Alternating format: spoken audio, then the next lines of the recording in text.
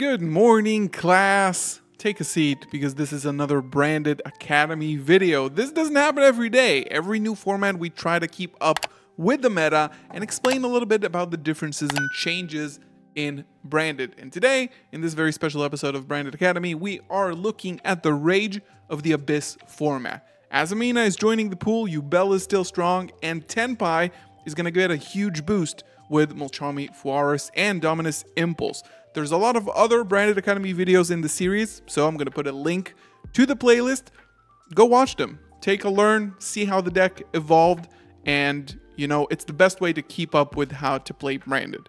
Today, we're going to be doing three things. One, we are going to look at the deck list, and this is a template deck list that I feel like will be good in Rage of the Abyss and is something that I'm currently testing. Two, we're going to be looking at three different combo lines of how to play the deck. People have been asking me for combo videos, and I think for branded, it's not usually as straightforward because branded combos are usually five card combos. Every hand is a combo on its own, but I will show a few different lines that you should just keep in mind to end on. And you can see this card right here on the screen. This is something that I'm testing out against Tenpai, and I think that this is one of the best plays to the best ways to play around Dimension Shifter versus Tenpai. So I'm going to be showing you how to pull off that line. Let's look at the list. So things are relatively standard, okay? 50 cards, no grass. I think grass is. I don't think it's necessary to play. I really don't think that grass is the best build out of what Branded has to offer. And I think you do want to keep your card count lower so you can see more side deck. I would also probably test out even lower than this, right? You can honestly play 45 because you're going to see so much side deck. And the more cards you have in your deck, the less side deck you're going to see. Even though this deck is just like really, really good at going second. Three Albions is still relatively standard for me. I was testing out one. I think that the value of this with high spirits and the value of this searching branded fusion in more versatile ways is just too important since you only have one now. Three Aluber and two Cartesia. I always switch around, like three Cartesia, two Aluber. You can definitely play two Aluber. I think that in 50, having six normal summons, which is Kit, two Quem, and Alubers, I think is fine. I would want to see Aluber if th- that's the only card in my hand, and if it's a top deck, more than I would like to see Cartesia, because this will get me to something. So this is why I play three Alubers and only two Cartesias. I do play one Stellar, and that sort of circumvent- circumvents the fact that we're only playing two Cartesia, because this is a great bridge to um, get to Cartesia and Quem. If you don't know how this works, you can look at the last Branded Academy video of the info format explaining how this card works within the deck. One Zero, one tragedy, three Albaz. So, Gimmick Puppet Nightmare is still going to be your best win condition, but in the two card combo, which in my opinion is the most optimal line, and you will get to it a lot of the times, you don't even end on Puppet in the Graveyard. You do everything on the opponent's turn. I'll show you when we do the combo, and then two Quem. Three Mulcharmy Fuwalos. You want to draw into board breakers when you're going second. If you're going first, this card is a discard. That's basically it you could, obviously, if you don't own the copy of the card, I would suggest probably replacing this with the Lure of Darkness and adding another Mercourier. I think that will be your best bet. It will serve the same purpose. You're going to draw additional cards and, and search. It's just going to be the best bang for your buck, and it's still like a very good staple. And this is still a question mark, I think, before we get into the format. One kid, one lube, one Mercourier one branded fusion, one high spirits. I don't want to open too many of the, these, and I don't want to play too many Bystials, because even though Yubel is going to be a meta deck, Snake Eye Amina is also going to be a meta deck, and Bystials don't do a whole lot against that deck. One in red, one lost, three Eclipse, three opening, three Droplet, two Dark Ruler No More, just as an additional layer of board breakers. You don't need to play three because you already play Thrust.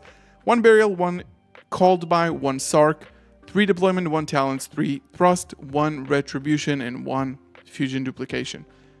I think that you could take out the two Dark Rulers, take out the Mulcharmies, and play 45.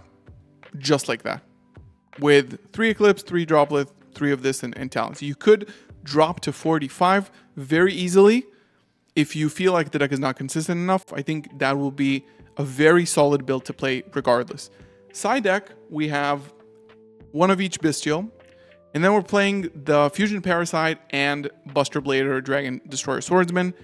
I think, and this might be my personal bias, I'm very scared of Tenpai. This deck does not necessarily play well into Tenpai and under Shifter. Like, if you get hit with Shifter and you don't open Thrust and something like a Dimensional Barrier, you're going to be in, in trouble because you might just lose on the spot. So, of course, you could play Dragoon, which is also solid, right? But the problem with Dragoon is that it can be killed. And Drago Stapelia is usually your line under shifter, but it's just way, way not enough against Tenpai. So what I'm testing right now, and it's been proven to, to work, especially in a grindier game state, or if you do this on your opponent's turn somehow, is that Branded Fusion send this in Albaz, shuffle back, make this. If they don't have, and you put this in defense, if they don't have specifically like a Dark Hole, Raigeki, or Droplet, this stays on the field and you win. Now, is this a good enough gamble? Like, be better have it, right? They do play a lot of these outs. It's probably your best bet, in my opinion. And of course, we do back it up with Thrust, Eclipse, debarriers, Imperms, Cosmics, like a lot of things that do work against Tenpai as well. So it's not only that, but this will be like, you don't want to end on Mirror Jade if you're under Shifter. If you're not under Shifter, just play the game. That's fine. This is why this card is here. And one Shaddoll Dragon, three Imperms is also for Tenpai. Also for Yubel going second. It's good to hit, it's very good to hit the Spirit. Good against Azamina cards. And I think it's a good way to play around Protoss, which is going to be like Ritual Beast is still going to be a, a, good thing next format. Deep Barrier is a thrust target. Duster, 3 Cosmics, Masquerade for time. And the Buster Blader. X-Rec is pretty straightforward. Alba-Lenatus, Titanic Led Rindbrumm, Stapelia, 2 MJ, 2 Granguignol, 2 Albion, Sanctifire, Furious, an amazing card, Quaeritis is still here, Chimera, and Lubellion. Now that we've looked at the deck list, let's look at a few combo lines that I want people to be aware of, and uh, let's jump into it. Hey, by the way, if you like this video and want to support me in making more of these, just remember that you can use code GALZO5 across my many sponsors. Whether it's accessories, rare cards, or just singles, it helps way more than you think. And you can also join our free Discord community in the link in the description below. And if you want special treatment, become a YouTube member or a Twitch subscriber to get exclusive access into our members only Discord channel and get an awesome badge as well. Now, for this first line, I want to do the one card combo which is one and a half because you do need a discard, actually two discards. But it will mean that you only have access to either branded opening or Aluber. It's not a line that I would usually just recommend in general, but sometimes it will happen and it's the most straightforward way to like the simplest end board you can end on with branded. And I think it's important for people to know. so Aluber, of course, grabs branded fusion, sends Lubellion, and Albaz. Now, you would summon Albion here either way. The difference is, is that if you have two spells as discards, right? If you if you have like another two board breakers, you can access the Stellar line, right? So we'll look at that in a second. Now, Albion is going to banish Albaz and Aluber to, of course, make Searing Dragon, discard, shuffle back, and we end on a Mirror Jade here. We tribute this, of course, we go for this. This is the very, very basic, basic line, right? And this will place us on the board. This. Now, you have a few problems here. In this line, you don't end on Albaz in the graveyard, which is crucial. It is crucial to end on Albaz in the grave. Okay? So this is why you don't go for something like in red. Theoretically, this line could be better if you just have branded banishment in your deck. And maybe that's a consideration because you could go Banishment, summon the Albion infused with this to make uh, Light and Darkness Dragon Lord. Right? That makes the one card combo better, but the one card combo is not really something you do. What I would do here is use Albion to search for Branded Opening, if you haven't started with it in the combo, of course. Otherwise, you would search for Retribution and get two interruptions, which is basically fine with a one card combo. But here, I would go for Branded Opening to make sure I do have Albaz in the grave and gain some sort of momentum. Go for a Quem here and then dump the Albaz. So what this makes are essentially three interruptions, right?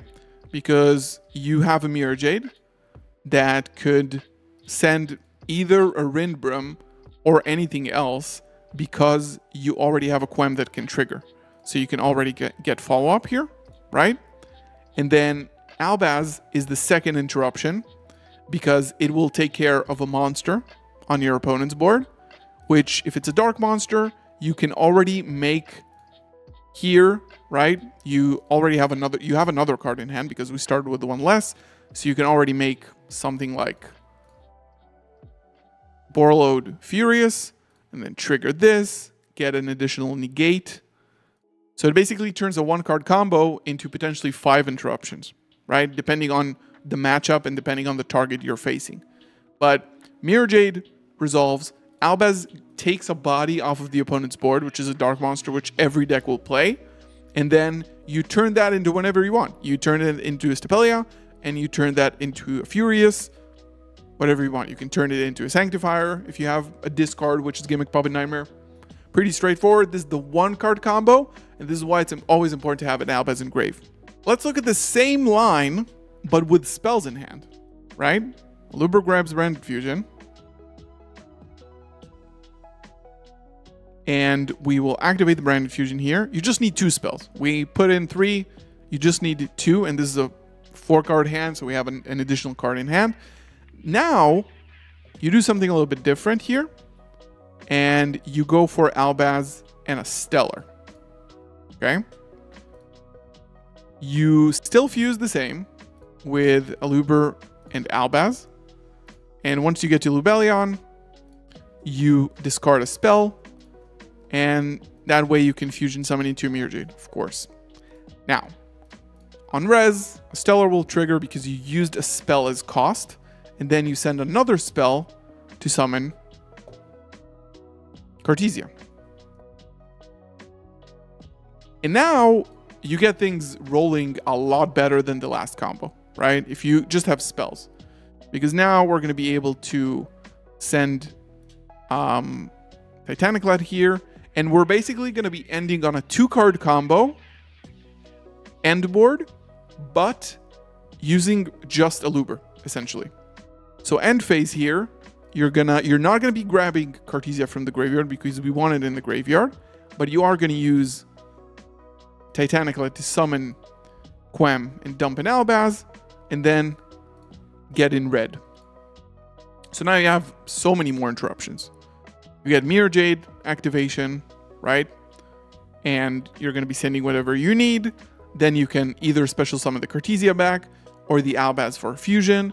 You, of course, have lines for tagging out with Granguignol. And of course, you have branded in red, which could be 10 different things. Like you could very easily just pop it from this place because once you activate the Mirror Jade, you can bring this back, fuse away, make another one, dump the puppet, and then just use in red to make. You can make it with this even, which whatever. Honestly, just keep the quem, and then that's basically it. You keep this for yourself. You give this as a present to your opponent, and that's it. So this is the one card combo, but with spells in hand. Just two spells in hand. The rest of your hand doesn't matter. It's a Luber plus two spells, and it ends on like eight interruptions. It's very, very layered. Your interruptions, this is what's so unique about Branded, your interruptions will evolve over time as you evolve your end board because you end on something, but it grows on your opponent's turn. Now, I want to go to the two card combo, which is very similar to what we ended on here. It's basically the same result, but you don't need to access a stellar. You just need Aluber or a way to Aluber and Cartesia or a way to Cartesia without giving up your normal summon. So it could be Cartesia and opening, it could be Aluber and deployment. It's basically the, the two sides of the same coin. We always start with summoning the Cartesia. If you're wondering by any chance why these artworks are here, these are the new white story complete file collection artwork. They got alt arts because Konami loves, uh, they love us. Reveal Granguignol, normal summon, um, and basically it's the same from here. We, we do need a couple of discards, so we're gonna grab us two cards, right? I think we only need one to be honest. And then Branded Fusion, normal line. Bystial Lubellion, Albaz. You go into Albion here, which will banish. Now, since we're gonna make Granguignol a little bit later in the combo, you don't need to worry about Albaz and Grave because you will summon Quem during the end phase, which will guarantee it. Now here, you get nibbed, it doesn't matter, you chain Cartesia, make a Granguignol, chain Mirror Jade, send another thing for, like, nib is not real against Branded at all. Now, what's important here and different about the other combos is that you will get a lost activation. So, Galzo, I obviously search for Mercourier here, right? Wrong. Oopsie. Wrong. You don't search for Mercourier, you search for Kit. Here. Okay, and I'll explain why. Second, and then you send Grrr Titanic Lad. Graveyard is fully set up with Albion and Titanic Lad. This is what you want in the end phase. Cartesia is going to stay in the grave. Don't take the Cartesia back to hand, ever. And this is a pro tip unless you need a discard specifically. You can always summon it from grave with Quem. It's better for you, unless you have zero cards in hand and need one card. That's fine. If you have one card in hand, don't take this back. You might need it to summon it from the graveyard. So, why did we search Kit? It's one more interruption to your end board. If you went through this line, right, you can special summon the kid now and search for Retribution. Okay, bring back the other card. You still have one more card in hand. This is going to be an additional interruption on your end board, which will also shuffle back your fusions from grave, which is great.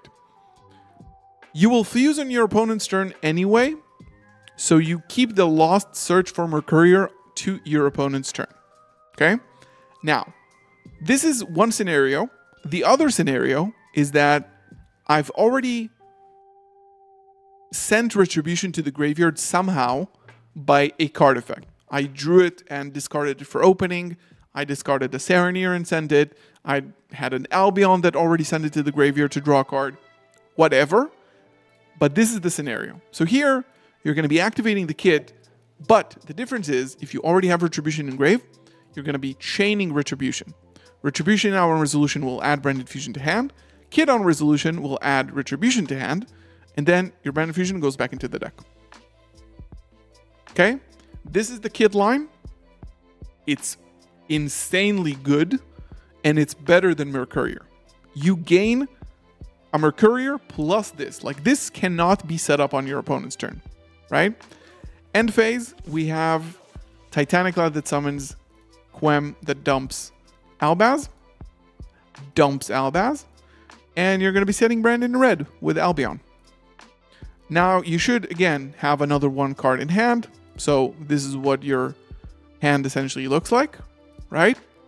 So you do have a discard for the Albaz effect. This is why you don't need to bring back the Cartesia because if you want a puppet lock during your opponent's turn, you need this Cartesia engrave. Okay? Don't be tempted to use Cartesia's effect during the end phase.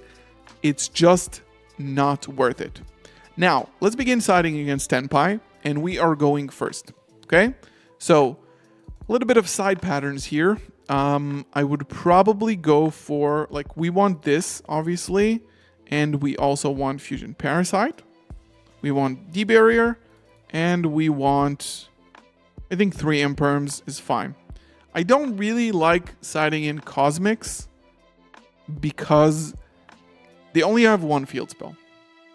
So the chances that they'll go for the field spell is probably like half as it was when it was not limited, right?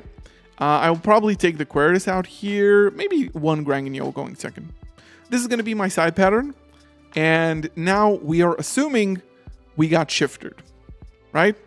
So draw phase, they shifter us.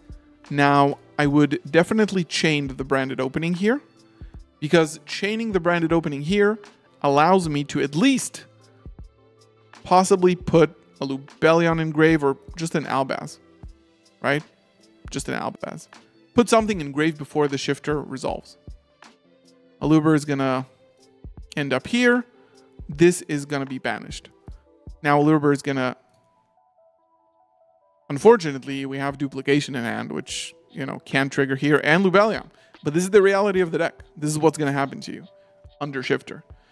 Now, we get Ashed here and we pass. Now, just kidding. We go for this, and we go for this. Fusion Parasite, Lubellion. This is banished. This, honestly, like, you could just banish this. It doesn't really matter. And then we go for a Fusion Parasite, and you could leave the Lubellion here. You could leave it and just shuffle the other Albaz. Now, you don't really know what's the what what are the other cards in your hand, essentially.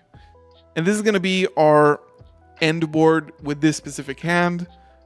Like, it will be without these two cards if we only had a Luber or Branded Fusion.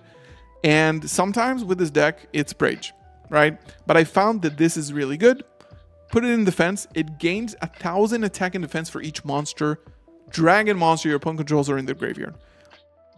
Okay, so think about it. They summon Paidra, it's already 3,500 defense.